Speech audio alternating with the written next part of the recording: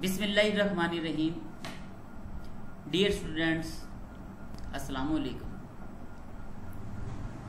उम्मीद करता हूँ आप सब खैरियत से होंगे और आप अपना और अपने फैमिलीज़ का और बाहर लोगों का भी ख्याल रख रहे होंगे।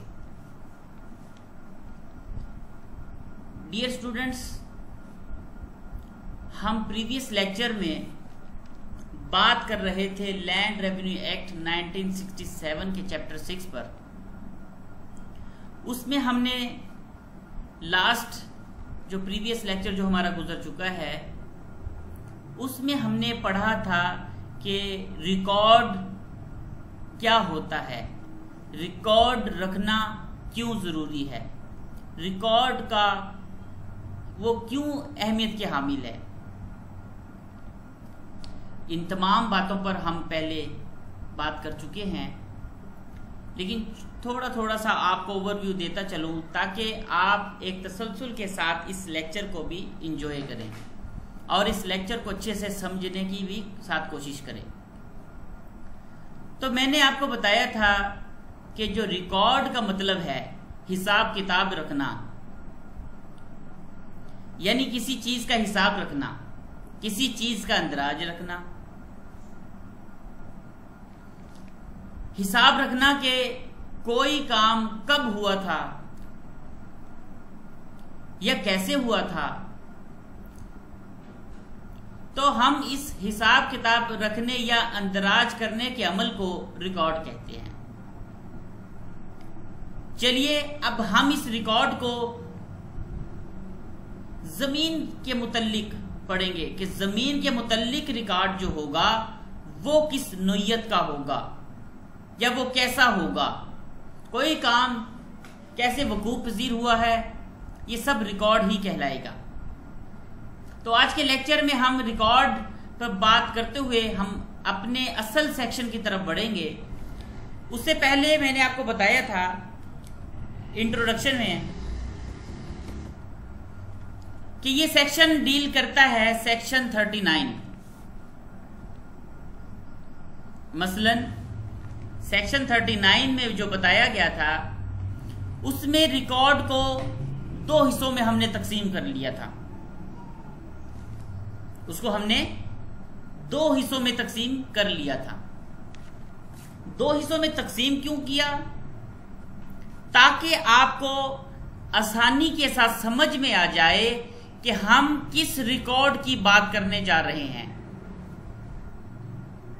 अब इसमें दो ही तरह के रिकॉर्ड हैं। एक रिकॉर्ड होगा रिकॉर्ड ऑफ़ राइट्स यानी कि हकूक से रेलिवेंट जो रिकॉर्ड होगा। और दूसरा रिकॉर्ड क्या है? पीरियडिकल रिकॉर्ड पीरियडिकल रिकॉर्ड क्या होंगे? वो हम पहले भी डिस्कस कुछ कर चुके हैं और मजीद थोड़ा सा और आज डिस्कस करेंगे। ले जी, हमने अपनी सहूलत को सामने रखते हुए स्टूडेंट्स ताकि इस बात को आसानी के साथ समझ लें, उसको हमने दो हिस्सों में तकसीम कर लिया। पहली बात में हमने जाना कि ये रिकॉर्ड क्या होता है। रिकॉर्ड का मतलब हमने जान लिया कि हिसाब किताब रखना या अंदराज करना। उसके बाद हमने जाना कि रिकॉर्ड कितने किस्म के हो सकते हैं।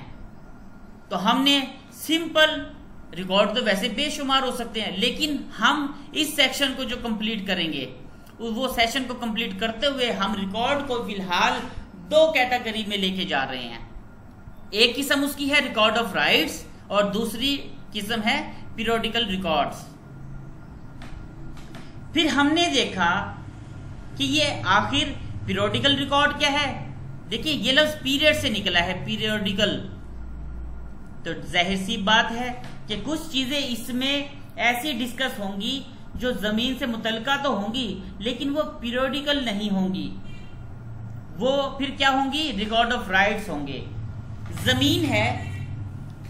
अब हम जानना चाहते हैं कि उस पर किसका कब्जा है या उसकी मिल्कियत क्या है? वो किसकी मिल्कियत में है?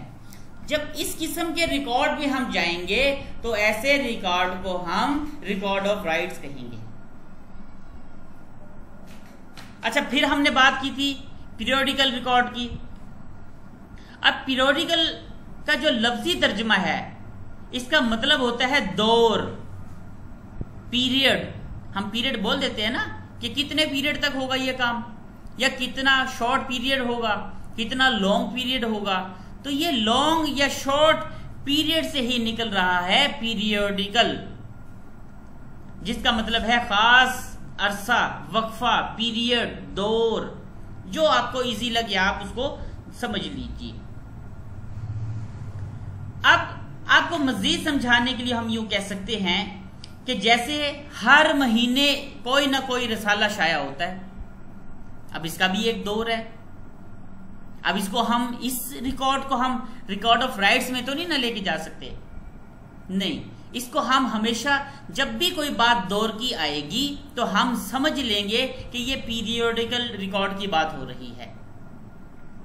मसलन, एक रसाला जो है वो तीन माह में शाया होता है, एक रसाला छह माह बाद शाया होता है, और एक रसाला ऐसा है जो हर माह शाया होता है।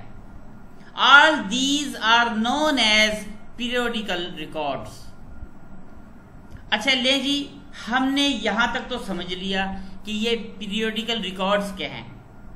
अब इसकी छोटी सी एक मिसाल भी ले लें ताकि आप मेरे नए सेक्शन के साथ आराम से टच हो सके। क्योंकि ये लेक्चर जो हैं, ये चेन की तरह एक दूसरे के साथ कनेक्टेड है। आप पिछले सेक्शन को अच्छे से समझते जाएँगे, अगले सेक्शन जो आपके सामने आएँगे, उसके लिए आपकी जो समाप्त होगी, वो बहुत आसान हो जाएगी। तो पीरियोडिकल रिकॉर्ड की मिसाल ऐसी है जैसे खसरा गर्दौरी है, फ़सलें किस ज़मीन पर हैं, किस तारीख से हैं, कौन सी फ़सल काश हो रही है, एक ही वक्त में मुख्तलि फ़सलें भी काश हो सकती हैं। आपने देखा होगा कि गंदुम है तो उसके साथ कोई ना कोई और भी काश्त हुई होती है। ज़रूरी तो नहीं है ना कि भी अब एक साल में सिर्फ़ एक ही काश्त की जाएगी फ़सल। या चावल है, उसके साथ मकई है, और उसके साथ जो है अलावा अब चावल और कपास, इन दोनों का एक सीज़न है कि कितनी ज़मीन पर कपास काश्त हो रही है और कितने पे चावल हो रहा है। अब ये तमाम रिकॉर्ड और फिर ये देखा जाए कि कौन सी ज़मीन बंजर रह गई है और कौन सी ज़मीन जेर काश्त लाई जा रही है। अब ये सारे के सारे रिकॉर्ड को जिसे हम देख रहे हैं, ये रिकॉर्ड क्या कहलाएगा? पीरियोडिकल रिकॉर्ड ले जी, हमने अब पीरियोडिकल रिकॉर्ड भी समझ लिया। अब जरा सा आगे बढ़े। अब देखिए, दो मिसालें आपके दिमाग में होनी चाहिए कि जब हम ज़मीन के मालिक की बात करें कि इसका ऑनर कौन है, इसका पोजेशन किसके पास है, कितना हिस्सा है, किस हिस्से पर कितना काबिज है तो आप समझ लीजिएगा कि बात अब रिकॉर्ड ऑफ़ राइट्स की है। और जब फ़सल की बात की जाए तो अब आपको कहना ना पड़े, आप खुद से ये समझ लें कि अब लफ्ज पीरियोडिकल में हम ऐड हो चुके हैं, शामिल हो चुके हैं। अब हम इसमें वेरियस सेक्शन को तो पढ़ रहे हैं कि कौन सा सेक्शन किसकी तफसील बता रहा है। अब हमने बात की रिकॉर्ड ऑफ़ राइट्स की। हमने उसमें जान लिया कि रिकॉर्ड ऑफ़ राइट्स क्या है। देखो बच्चों, मैं आपसे पहले भी डिस्कस कर चुका हूँ कि आप अगर रिकॉर्ड के नाम से ही वाकिफ नहीं होंगे तो आप किस तरह से अपना राइट क्लेम करेंगे? देखिए क्लेम तो हम तब ही कर सकेंगे जब हम रिकॉर्ड के बारे में कुछ जानते होंगे। यानी कि अगर आप सिविल कोर्ट जाएँ, उसमें आप देखें हंड्रेड परसेंट जो सूल फाइट होते हैं, वो रिकॉर्ड उसमें इंप्रूव उसमें इन्वॉल्व होता है। उनमें हंड्रेड परसेंट रिकॉर्ड इन्वॉल्व होता है। अब अगर आप रिकॉर्ड की समझ बूझ रखते हैं तो आप रिकॉर्ड को दुरुस्त तरीके से देख सकते हैं, पढ़ सकते हैं, जान सकते हैं, और उसकी जाल पड़ताल भी कर सकते हैं। जाँच पड़ताल करना क्यों ज़रूरी है? डेफिनेटली जाँच पड़ताल के बाद ही असल इंसाफ आपके पास मौजूद होगा। अब अगर हम देखें कि रिकॉर्ड को कौन दुरुस्त कर सकता है कौन मेंटेन रख सकता है, या उसमें तब्दीली कौन कर सकता है? अब इन तमाम बातों का अगर आपको बखूबी बखूबी इल्म होगा तो तब क्या है जी, आप इन मामला को आसानी से देख सकते हैं। मिसाल के तौर पे मैंने आपको कहा था कि अगर हमने जानना है कि ज़मीन का मालिक कौन है तो इसके लिए हमें एक रिकॉर्ड की ज़रूरत पड़ेगी ना तो वो रिकॉर्ड क्या होगा? वो इंतकाल होगा। यानी कि जब हम इंतकाल को देखेंगे तो हमें समझ आ जाएगी इसका असल ऑनर कौन है। लेकिन जब आपको पता ही नहीं होगा कि भाई रिकॉर्ड क्या चीज़ है रिकॉर्ड किस बला का नाम है, इंतकाल किस बला का नाम है तो फिर क्या होगा? आज कल की दुनिया आपको फ्रॉड में इजीली इन्वॉल्व कर देगी। आपके साथ फ्रॉड भी हो जाएगा और आपको पता भी नहीं चलेगा। तो बच्चों रिकॉर्ड के बारे में इंफॉर्मेशन होना बहुत ज़रूरी है। और ये रिकॉर्ड जो इंतकाल का होता है, वो पटवारी के पास मेंटेन होता है, या तहसीलदार के पास होता है। फिर हमने देखा सेक्शन जो है थर्टी नाइन है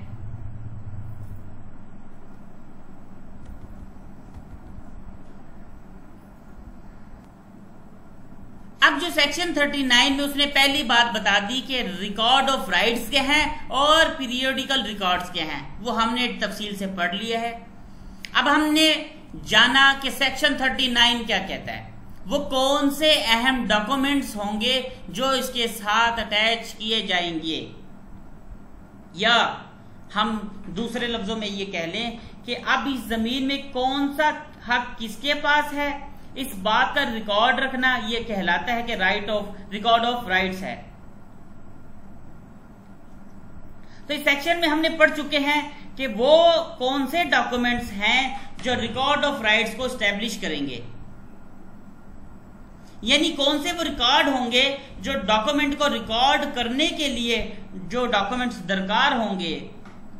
और फिर हमने एक और बात की थी सादा लफ्जों में कि रिकॉर्ड करने के लिए कौन से डॉक्यूमेंट्स लगाए जाएँगे।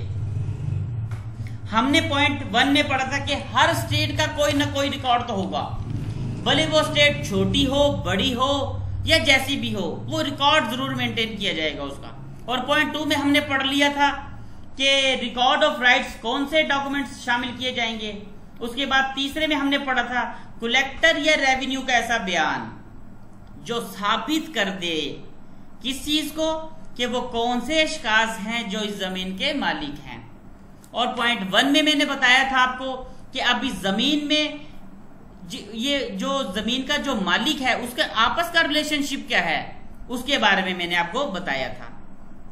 यानी कि कौन किराया वसूल करेगा, कौन नफा वसूल करेगा, कौन ऐसा है जो ये तमाम तर जिम्मेदारियों को निभाने का पाबंद होगा।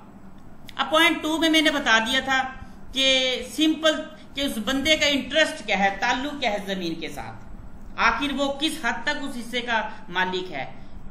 इसमें वो मालिक है, मजारा है, या जिस तरह की भी वो कोई अदायगी करेगा तो वो किसको करेगा? पॉइंट थ्री में मैंने फिर बताया था आपको कि वाजबात की जो अदायगी है, वो इसके बारे में बताया गया है कि वो गवर्नमेंट को किस तरह करेगा।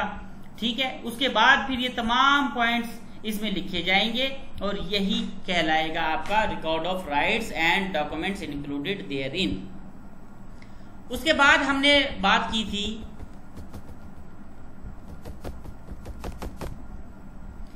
कि उसके बाद हमने बात की statement of custom respecting rights and liability यानी कि रस्म और रिवाज के मुताबिक ही किया जाएगा।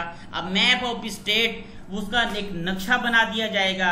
पॉइंट डी में हमने बात की थी कि बोर्ड ऑफ़ रेवेन्यू ने सूबाई हुकूमत की इजाज़त से लाजमी करार दे दिया है कि कोई ऐसा डॉक्यूमेंट जिसको बोर्ड ऑफ़ रेवेन्यू ने सूबाई हुकूमत से इजाज़त लाजमी करार दे दिया गया हो। अब फिर बात हमने क्या बात की?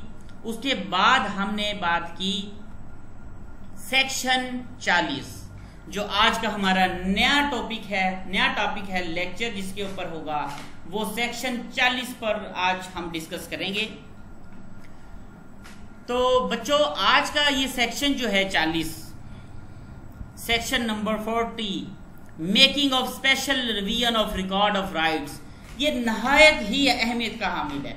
वैसे तो ये रिकॉर्ड इट पूरा चैप्टर इंपॉर्टेंट है, लेकिन ये सेक्शन आप पढ़ के इनशाला आप जानेंगे कि ये हमारी लाइफ में जो रोज़मर्रा के जो मामला हैं, उसमें ये कितना अमल दखल ये करेगा।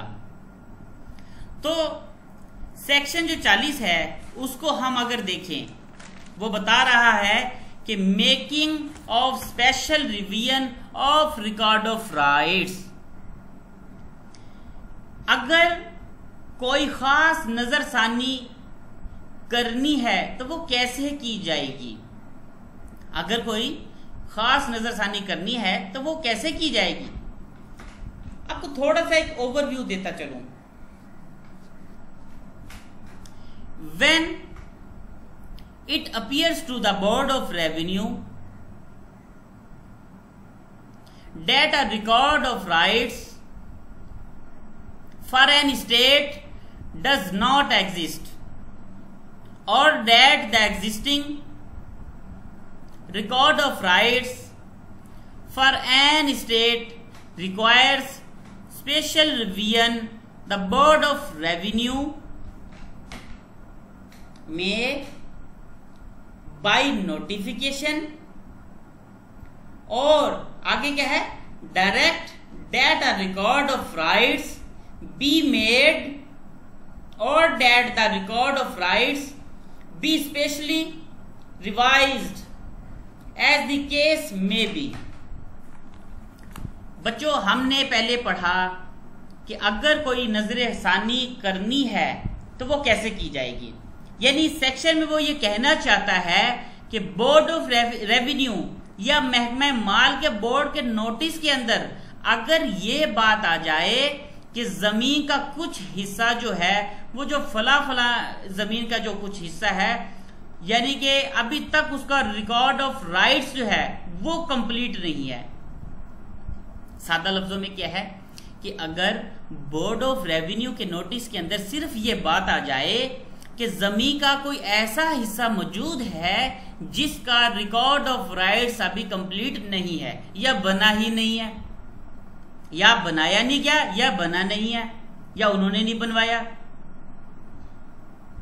यानी अभी इसकी मिल्कियत के जो डॉक्यूमेंट्स जो हैं, वो अभी बनने ही नहीं है, तैयार ही नहीं हुए हैं। आपने अक्सर देखा होगा कि पाकिस्तान में ऐसे बहुत से इलाके हैं, जिनका अभी तक बंदोबस्ती रिकॉर्ड तैयार ही नहीं हुआ है। ऐसे बहुत से इलाके हैं। आप अभी, अब मैं नाम नहीं लेना चाहता, बहुत से ऐसे इलाके अभी भी मौजूद हैं जो रवायती तरीके के कार के मुताबिक खरीदो फरोख्त करते हैं। और ये मेरे ख्याल से कम इल्मी है ये। आपको रिकॉर्ड ऑफ़ राइट्स को मेंटेन ज़रूर करना चाहिए। अपडेटेड होना चाहिए आपका रिकॉर्ड ताकि कल को किसी भी तरह की आपको प्रॉब्लम फेस ना करनी पड़े। अब हम क्या है जी, एक ज़मीन ले लेते हैं। वो भले 20 लाख की हो 40 की हो 60 की हो या करोड़ की हो। लेकिन हम ज़मीन का टुकड़ा तो ले लेते हैं। लेकिन उसकी जो डॉक्यूमेंटेशन है, उसके ऊपर हम गौर ही नहीं करते। बस ठीक है, कोई कहता है, जी, आप स्टाम्प पे ले लें, काफ़ी है। कोई किस तरह कर लेता है। अभी रिसेंटली एक केस आया है हमारे पास। अब उस केस का आप सुनेंगे तो आप भी हंसेंगे कि दुनिया में आज भी ऐसे लोग मौजूद हैं जो इन रवायती तरीकेकार से हट के भी वो खरीदो फरोख्त कर रहे हैं। वो मैं अब आपसे डिस्कस करना चाहूँगा, क्योंकि ये बातें आपके लिए बहुत अहमियत के आमिल हैं। आप इन बातों को खातिर में ला के बुरे नुकसान से बच सकते हैं। अब मेरे पास एक केस आया है अभी कुछ दिन पहले। अब वो डॉक्यूमेंट्स उनके पास एक भी मौजूद नहीं है। प्रॉपर्टी है उनकी तकरीबन 20 मरले के करीब। अब 20 मरले की प्रॉपर्टी है और ये दो मरले की उनकी जो ये दुकान है, जिसे कमर्शियल प्लाट कहा जाता है। अब ना तो उसके कागजात हैं और ना ही घर के कोई कागजात हैं। अब उनके जो बड़े सरबराहान थे अब वो गिनती के तीन पेज मुझे देते हैं कि जनाब, हमारे पास ये रिकॉर्ड है। अब वो रिकॉर्ड जब मैंने देखा, नहायत ही बुसीदा कागज़, वो जो बच्चों की छोटी छोटी सी नोटबुक नहीं होती दो दो तीन तीन रुपए वाली पाँच पाँच रुपए वाली अच्छा वो भी फटा हुआ पेज। उसके ऊपर सिंपल तहरीर किया गया है कि भाई फला फला मकान फला फला बस। आगे ठीक से ना नाम मेंशन किए गए हैं, ना ही मलकियत को बताया गया है, ना ही मालियत का ज़िक्र किया गया है। किससे खरीदी, क्यों खरीदी, उसके गवाहन कितने थे, कुछ अता पता नहीं है। अच्छा वो जो दुकान है कमर्शियल रिहायशी प्लाट है, उसके उसके हिसाब भी ऐसे ही कुछ है। आप उनकी बेवकूफ़ी का अंदाज़ा देखिए कि इतनी बड़ी डील वो कर रहे हैं, सिर्फ़ ये छोटे छोटे डॉक्यूमेंट्स वो डॉक्यूमेंट्स जो आज का ना तो आप देखिए ना, आप किसी के पास अगर ये डॉक्यूमेंट्स लेके जाएँ कि भाई ये है हमारे पास प्रूफ तो वो हंसेगा हमारे ऊपर कि भाई ये तो बच्चों वाली बातें कर रहे हैं आप। तो तो कहना ये चाहता हूँ कि जब भी आप कोई प्रॉपर्टी परचेज करते हैं या सेल करते हैं तो आपके पास जो उसके डॉक्यूमेंट्स हैं वो ज़रूर होने चाहिए और वो डॉक्यूमेंट्स अपडेटेड भी होने चाहिए। ऐसा नहीं है कि मौजूदा साल में जो डॉक्यूमेंट्स की वैल्यू है, वो कहते हैं कि उसके पास असल फर्द मिल्कियत हो या उसका कंप्यूटराइज कोई फर्द मिल्कियत हो। आज की मौजूदा दौर की बात तो ये है। लेकिन आप क्या करें, एक सादा पेज ले जाएँ, उसके ऊपर लिख के ले जाएँ, जी, ये जी फला फला ज़मीन हमारे फलाने के नाम की थी। नहीं। मौजूदा दौर का जो प्रिस्क्राइब्ड मैनर होगा, उसी हिसाब से आपके पास रिकॉर्ड जो है अपडेटेड होना ज़रूरी है। तो बच्चों अपडेटेड जो रिकॉर्ड है, वो कैसे होगा? ये मैं सेक्शन बताने से पहले आपको बता देता हूँ, ताकि आप इन बातों को ध्यान में रखते हुए आगे बढ़े। जब ये बातें आपके प्रैक्टिकल तरीके से आप इनको समझ लेंगे तो इनशाला ये सेक्शन समझना आपके लिए कोई बड़ी बात ना होगा। देखिए सबसे पहले जब आप कोई प्रॉपर्टी परचेज करते हैं तो आप सबसे पहले फर्द मिल्कियत देखें कि आया उसके पास फर्द मिल्कियत है। ये फर्द मिल्कियत क्या है? फर्द मिल्कियत इस बात का सबूत है कि वो उस ज़मीन में उसका मालिक भी है या वो आपके साथ कोई फ्रॉड कर रहा है। नंबर एक। नंबर दो, जब आप फर्द मिल्कियत देख लेते हैं, उसके ऊपर लिखा होता है कि भाई फला फला मरले में इतना वो काबिज है, इतना इतने का वो मालिक है। तो आप आराम के साथ, उसके साथ जो डील है, वो कंप्लीट कर लेते हैं। अच्छा फिर उसके बाद आप देखते हैं, एक चीज़ बल्कि देखनी भी चाहिए कि जिससे आप प्रॉपर्टी परचेज कर रहे हैं, आया, वो उसका ओनर है या उसके बाकी के ओनर भी साथ हैं। यानी कि ऐसे तो नहीं है कि मुश्तरका खेवटदार हैं। मिसाल के तौर पर एक घर के पाँच लोग हैं, ये पाँच अफराद हैं। अब वो उस प्रॉपर्टी में बराबर के हिस्सेदार हैं। अब वो एक बंदा तो नहीं ना ऐसे बेच सकता सबके नाम से। अब जाहरी बात है वो अपने नाम की तो प्रॉपर्टी सेल कर सकता है अपने हिस्से की ज़मीन तो सेल कर सकता है लेकिन बाकियों की सेल नहीं कर सकता। या ऐसे कर लें कि घर के छह अफराद हैं और उनका जो सरबरा है वालिद है वो फोत हो हो, हो चुका होता है। अब क्या है जी? अभी भी सेल नहीं होगी ये प्रॉपर्टी आपके नाम हो ही नहीं सकती। अब आप सोच रहे होंगे कि सेल क्यों नहीं हो सकती भाई? प्रॉपर्टी वो देने वाला, हम लेने वाले, पैसे पूरे उसके हैंड ओवर कर रहे हैं तो फिर क्यों नहीं हो सकती? तो कानून ये कहता है, अगर आपने टीपीए पढ़ा होगा ट्रांसफ़र ऑफ़ प्रॉपर्टी एक्ट उसमें भी ये बताया गया है, और ये लैंड रेवेन्यू में भी बताया जा रहा है, कि सबसे पहले विरासती इंतकाल होगा। अब देखिए ना, एक बंदे के नाम अगर वो ज़मीन है, दस मरले की और उसके पीछे उसके बच्चे हैं, आठ या दस या जितने भी हैं, वो डायरेक्ट तो नहीं ना सेल कर सकते। पहले वो ज़मीन उस वालिद से विरासती तौर पर उनमें मुंतकिल होगी, फिर जाके वो बयान देंगे आपको अपनी हद तक कि जनाब, हम अब ये ज़मीन का हिस्सा फला फला के नाम करते हैं। यह है वो तरीका जिससे आप आसानी से, मुश्किलात से बचते हुए प्रॉपर्टी को अपने नाम करवा लेते हैं। तो मैंने दो ही असूल बताए हैं प्रॉपर्टी को सेल या परचेज करने के, वो कौन से हैं? नंबर एक, कि जब भी आप कोई प्रॉपर्टी लेने लगे, जब भी कोई प्रॉपर्टी आप लेने लगे तो पहले देख लें उसकी फर्द मिल्कियत। फर्द मिल्कियत में दो बातें ज़ाहिर होंगी, कि आखिर जो जगह आप परचेज कर रहे हैं, वो उस ओनर की है या वो आपके साथ फ्रॉड कर रहा है। दूसरे नंबर पे, अगर तो कोई सरबरा है जो फोत हो चुका है, अब उनके बच्चे आपको सेल कर रहे हैं तो ज़रूरी है कि पहले वो विरासती इंतकाल करवाएँ। अब आपने देखा होगा, हमारे यहाँ एक कस्टम बना हुआ है कि जो प्रॉपर्टी को परचेज करेगा वो ही तमाम तरह खराजात उठाएगा। भाई देखें आप विरासती इंतकाल करवाना, ये तो उन लोगों का राइट है ना, जिनका ये लिंक जुड़ा हुआ है यानी कि जिनके वालिद साहब फोत हो, हो चुके हैं अब ये उसके बच्चों का काम है कि वो उनका फौरी तौर पे विरासती इंतकाल करवाए। लेकिन वो क्या करते हैं जी इसका जो सारे का सारा जो खमियाजा वो भी उनके ऊपर डाल देते हैं कि भाई जो प्रॉपर्टी परचेज करेगा वो ही ए टू सी सारे काम करेगा। देखिए इंसानियत भी कोई चीज़ होती है। ये आज जो हमने रस्म रवाज अपने तौर पे बना दिए हैं ये नहायत मुश्किल का सामना है। अच्छा ऐसा नहीं है कि आपने अगले के हिस्से में डाल दिया तो आप बच जाएँगे। जब आप भी कोई प्रॉपर्टी लेने लगेंगे तो ये नजला आपके ऊपर भी गिरेगा। तो खुदारा, मैं आप सबसे गुजारिश करता हूँ कि इस रस्म रवाज को आप बदलिए। कुछ काम जो आपके करने के हैं, वो आप खुद करिए। हिस्से खुद बनाइए, विरासती इंतकाल खुद करिए। ये जो घर के जो ये मामलात हैं, उसको खुद से निपटाने की कोशिश कीजिए। जब आप खुद से निपटाने की कोशिश करते हैं तो फिर क्या है? आप दूसरे के लिए आसानी पैदा कर रहे होते हैं। और जब दूसरे के लिए आसानी करेंगे तो ये हमारे नबी पाक वसल्लम का भी फरमान है कि जो दूसरों के लिए आसानी पैदा करेगा, अल्लाह उसके लिए खुद आसानी पैदा कर देता है। अब ये ज़मीन का हसूल इतना मुश्किल बना दिया है हम लोगों ने कि इंसान ने अगर खरीदनी भी हो तो वो सौ बार सोचता है। कि आया, इसको खरीदें या ना खरीदें। अब खरीदेंगे तो भाई इसमें तो जो मुश्तर खेवटदार है, वो तो बंदे ही बहुत हैं। अब भाई चौदह पंद्रह बंदे हैं, उनको जमा कौन करे? अब किसी का जाविया इधर है तो किसी का जाविया उधर है। कोई मुल्तान रहायश पजीर है तो कोई कराची रहायश पजीर है। या कोई सरगोदा है तो कोई सियालकोट है। अब क्या है जी? उनको कैसे बुलाया जाए जी?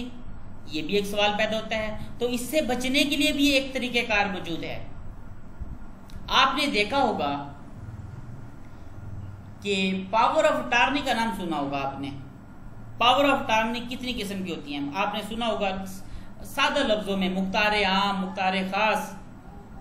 आप क्या करते हैं? मुख्तार आम बना देते हैं किसी को, या मुख्तार खास बना देते हैं किसी को, कि भाई मेरे फला फला की जो प्रॉपर्टी है इसका जो तमाम तर जो भी मामला वो देखेगा, वो मेरा ये भाई देखेगा या फला जिसको आप मुख्तार खास चुनते हैं, वो देखेगा। मिसाल के तौर पे, छह भाई हैं, उन मुश्तर का उस हिस्से में वो बराबर के हिस्सेदार हैं। अब छह भाई जो हैं, उनमें से पाँच जो हैं, वो बाहर चले जाते हैं। काम की गरज से, या वैसे वो रिहायशी उनकी बाहर है आउट ऑफ़ कंट्री में, अब वो क्या करें भाई? अब वो जाने से पहले या वहाँ जाकर। एक मुख्तार खास या मुख्तार आम उसके नाम लिख देता है जो मौके पे मौजूद होता है। और वो ये तहरीर करता है कि भाई हमारी तरफ़ से, हमारी तरफ़ से फला फला प्रॉपर्टी जिसका हम बराबर हिस्सेदार हैं, वो सेल परचेज करने का हम पूरे के पूरा हक इसको देते हैं। और उसके ऊपर फिर शनाख्ती कार्ड के जो नंबर है, वो लिख दिया जाता है। दो गवाहान के नाम लिख दिए जाते हैं। और साथ में क्या लिख दिया जाता है? तो फिर क्या है जी? पावर ऑफ़ अटारनी आपका ये जो सेल परचेज का जो मामला है, उसको ये आसान बना देता है। तो अब ये दिमाग में रखिएगा कि अगर कोई बंदा मौके पर मौजूद ना है, वो या तो आउट ऑफ़ कंट्री है, या फिर वो शहर से बहुत ज़्यादा दूर है, उसके लिए आना बहुत मुश्किल है। तो वो सिंपल पावर ऑफ़ अटारनी बना के भेज सकता है। और वो पावर ऑफ़ अटारनी आप उसको अटेस्ट करवा लेते हैं तहसीलदार से तो फिर क्या होता है जी, आप जब अटेस्ट करवा लेते हैं, उसको आप ओके करवा लेते हैं। फिर आप उसके बिहार पे तमाम तरह की जो ट्रांजेक्शन है, वो आप इजीली कर लेते हैं। ये थे वो तमाम छोटे छोटे नकात जो आप की नज़रों से हमेशा गुजरेंगे या गुजर रहे होंगे या जिनके नहीं गुजरे, वो इन तमाम बातों को सामने रखेंगे। तो उम्मीद करता हूँ कि अब ये तमाम जो छोटी छोटी खराबियाँ हैं, जो हमारे हाथ से जो पैदा की जा रही हैं, आप उनको दूर करेंगे। नेक्स्ट इंशाल्लाह, वीडियो में मैं आपको बताऊँगा कि पावर ऑफ़ टार्निंग जो दो तरह के होते हैं स्पेशल और जर्नल इनमें क्या डिफरेंस है? और उसके बाद में इंशाल्लाह आपको बताऊँगा कि ये जो ज़मीन का जो हसूल है, वो किस तरह किया जाता है? उसको कैसे इजी तरीके से आप सेल कर सकते हैं इजी तरीके से परचेज कर सकते हैं? वो इंशाल्लाह मैं नेक्स्ट वीडियो में बताऊँगा। अब इन तमाम को अगर आप सामने रखें और अब पढ़ें इस सेक्शन को, कि सेक्शन नंबर 40 क्या कहता है तो अब आप इस सेक्शन को आराम से समझने के काबिल हो जाएँगे। अब हम पढ़ते हैं सेक्शन 40 कि सेक्शन 40 क्या है? उसके ऊपर अब हम तफसील से बात करते हैं कि सेक्शन 40 जो है